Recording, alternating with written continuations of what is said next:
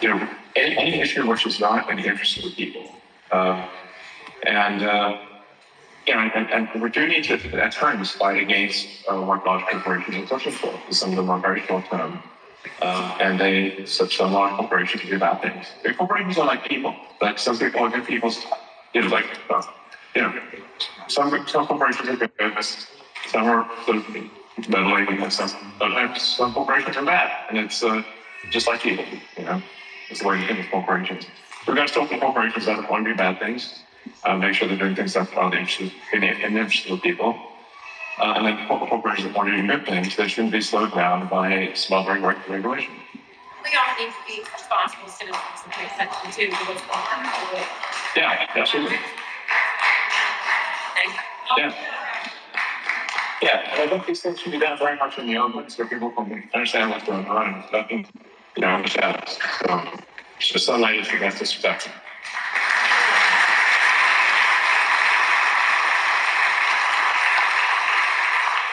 Hey, Elon, how are you?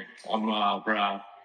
Uh, these are two tough acts to follow here, but uh, my question's a little more simple. Um, what are some of the first courses of action you plan to take as a head of government efficiency if uh, Trump gets elected? And do you have any areas of concern in particular? Yeah, uh, that's a good question. Um, I, I definitely, uh, you know, the focus right now is making sure that, that uh, Trump wins the election. Um, otherwise, it doesn't matter. And, and I think if, if, uh, Trump loses, we're going to see, you know, our cities are going to get less safe. Uh, the borders also going to be wide open.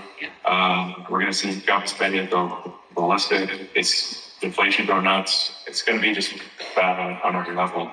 And, and, and, like fundamentally, if the, the current trend of, of you know, strang, of strangulation by overregulation is not turned around, we'll never get to Mars. It just will be illegal. Um, and there will be one planet civilization or one space going civilization, and Starfleet will never be real. Um, and all Starfleet to be real.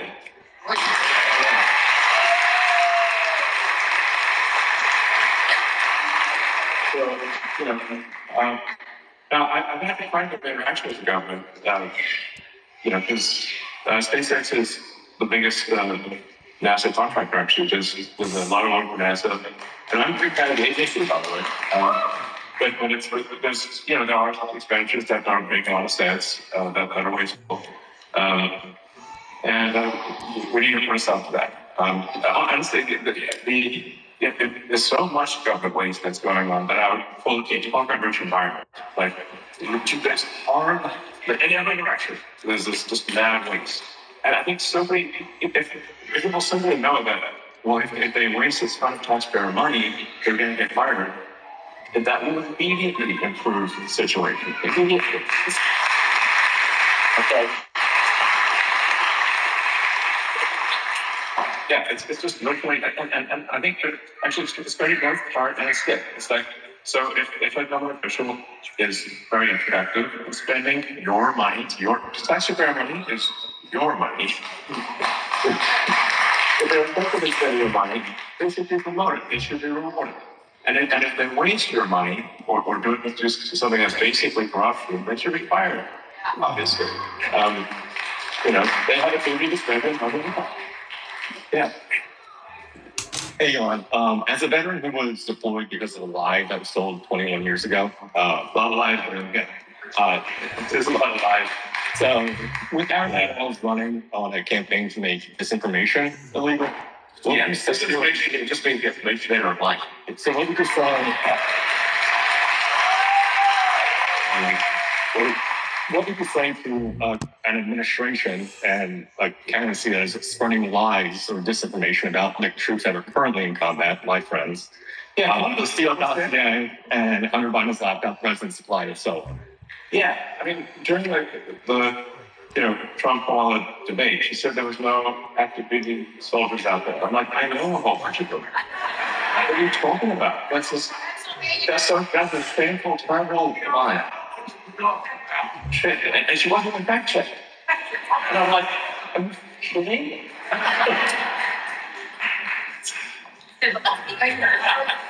I mean, yeah, thank you.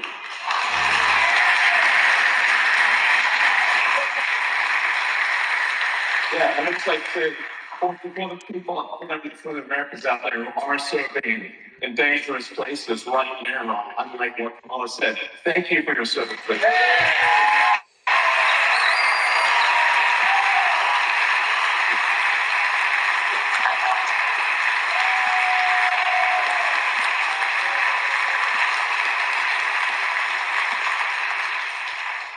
Elon, thank you for stepping up to help America when you don't have to. Like you could be on an island. um, Yeah, I, I, can't, you know, it, I, I can't be, you know, I think, um, Yeah, that's awesome. yeah, I, I I have a lot of jobs. Um, so, um, no, it's true. I mean, if there are, you know, a lot of people I know who are on a yacht, something of my time, whatever, in the island, you know, and, you know, uh, that, that is the thing I could be doing. Um, but, but I, but I think I, I, I can't, I can't do that if, if, if I think the future of civilization is at stake, which I think. Um,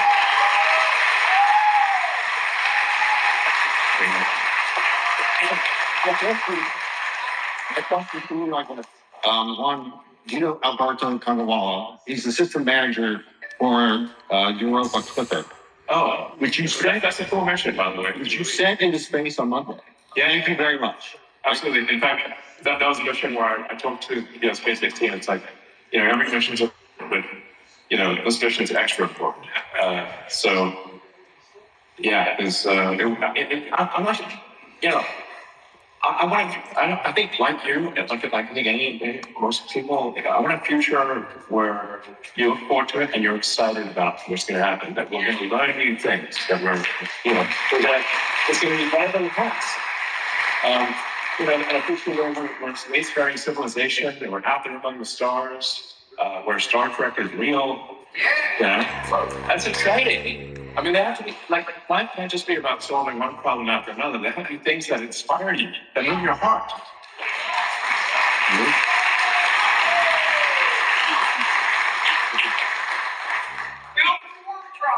Yeah, like, we, we, that's a long way to go. That's something we should go to Drive. Um, but you know, but if you found the Wolf Drive, the uh, you know the uh, Starship, the rocket made by SpaceX, is capable of building a city on Mars and a city on the Moon. That's what it's designed to do. But we're, we're being massively uh, uh, uh, slowed down by regu- regulatory molasses. Um, and I'll tell you like a crazy thing. If we're find $140,000 for like EPA for, for dumping fresh water on the ground, drinking water. That's crazy. It's crazy. Like, I'm just an example of just how crazy it is. And we're like, well, it's just we're using water to cool the launch pad during launch.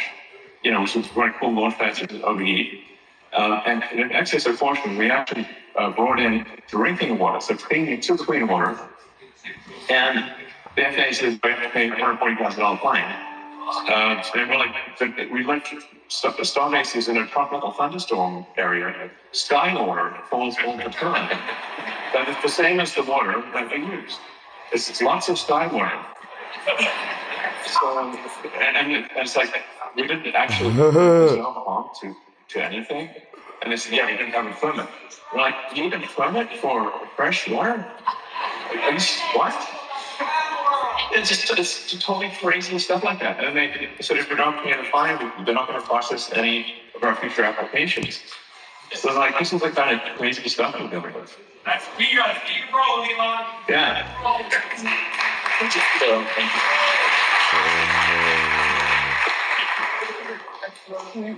Hi, Elon. Um, my name is Sarah. I'm from Philadelphia. I'm working here.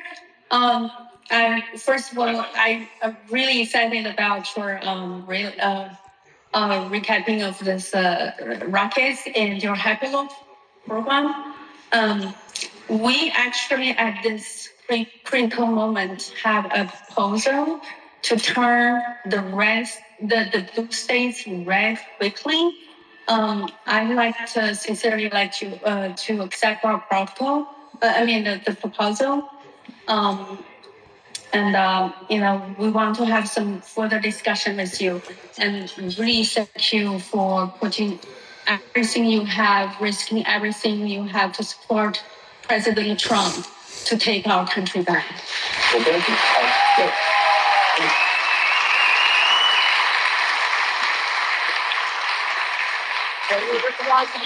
I met you in the. All right. Yeah, we shake the hand. I last week I also fly to the Austin one five you. So glad you are here. Welcome. I used to have a business 17 years here. This here. Thank you. Thank you. So, yeah. Well, I'll, I'll take a few more questions and then, um, and then, and then wrap it up. Um, but, uh, yeah, so go ahead. Elon, my- name's Kevin, and I grew up uh, right in here, right in Springfield, close by. And I want to thank you for all you've given up. You were the media darling, and you've sacrificed everything for freedom right now. And I, I, I want to thank you for my family and. I, I, I also want to thank you. I want to thank, thank you for all the lives that I that have been saved with, with your full self driving and all the future lives that they save with that. That that is one of the greatest Yeah. things you've pulled off. So thank you. I use that every day. You're most welcome. Yeah, I mean, with it, many lives and, and many serious injuries, and then also give people a time back so they can, you know, they can just be in their car and do whatever they want and watch, you know, movies or whatever they want to do. Um, it'll be great. I absolutely agree. My question for you is, and this is a very confusing thing in, in Pennsylvania. Do you think that we should, as a voter, vote in person, wait until voting day to vote in person, or